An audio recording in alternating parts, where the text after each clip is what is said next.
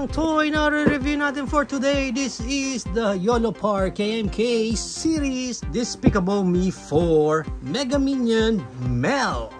Now, bago tayo mag-start sa ating review, special shoutout muna sa YOLO Park for sending this Minion mail para review natin dito sa ating channel. Once again, YOLO Park, thank you so much for sending this Minion! Now, if you buy this Minion mail, ganyan na klaseng packaging meron siya sa harap and sa likod, and sa gilid, and sa kabilang gilid, and sa ibabaw, and sa ilalim. Yan. And pag na-unbox natin dito si Minion Mail, nandito ulit yung cardboard ng YOLO Park for their customer service with their QR codes. And we have here yung manual ni Minion Mail. And as you can see here, naka-clamshell pa si Minion Mail. So, assemble na natin yan. Let's start muna dito sa kanyang paa. And yung body niya. And this one, ipipress natin yung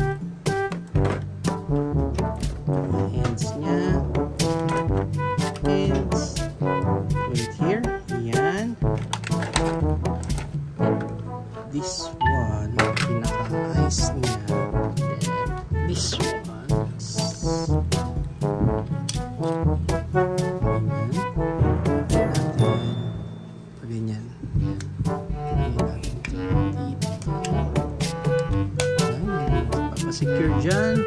Ah, itong mouth niya. Dito lang. Ganyan. Mas maganda ikabit muna natin ito. Tanggal ko ulit and then we'll try na unahin itong part na to. Yon. So unahin nyo na lang itong pinaka part na to. And then tsaka natin ilalagay ito. Pag tinabit nyo itong part na to, itong may magnet at itong part na to, ito yung pinaka ibabaw niya, hindi ito ah. So pag ganyan siya dapat ang kabit niya. Naipasok mo na yan dyan. So, mag slide lang siya papunta doon sa loob. Sasakto na siya dito sa side. Yan. And then from here, pwede na natin i-close yung pinaka top ng head niya.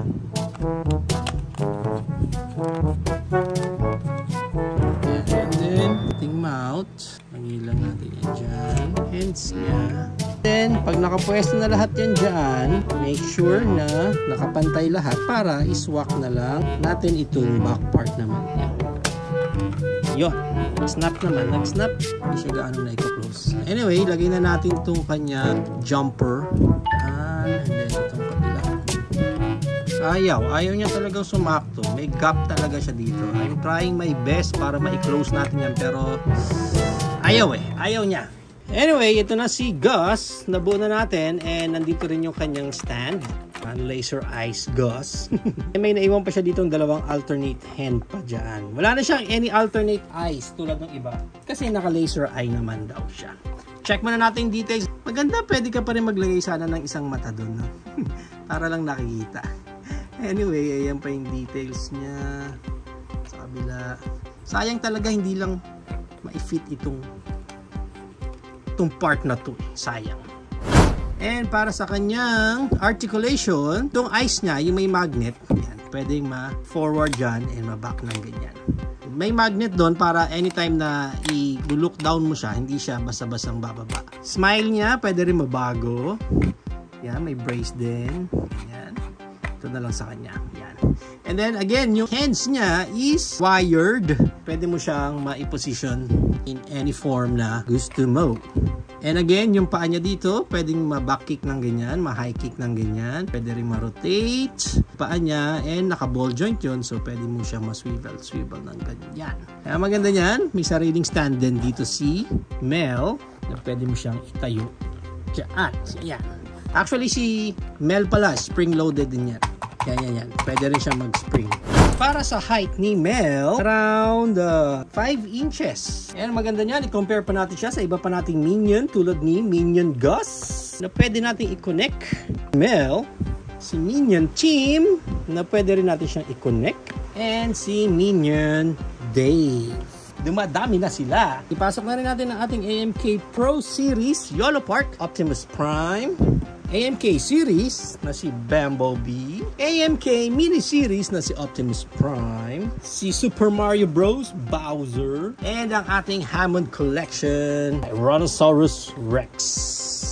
So yan ang ating high comparison. If you are planning to buy this Minion Mel, ang price range niya is around 800 pesos up to 1,200 pesos. Depende na lang again kung saan ka makakakita ng Minion Mel. There you have it now guys. Ito na ang ating YOLO Park KMK Series Despicable Me 4 Mega Minion Mel. What do you think of this minion? Is it a go for you or a no for you? Whatever thoughts, please comment it down below. But for me, I think isa to sa may mga unique na feature na mga minions sa series ng YOLO Park. Although, wala siyang alternate eyes tulad ng mga iba nating minions na pwede kayo magpalit ng eyes. Pero sa kanya kasi, wala siyang eyes. As in yan lang, para lang siyang Cyclops talaga dyan.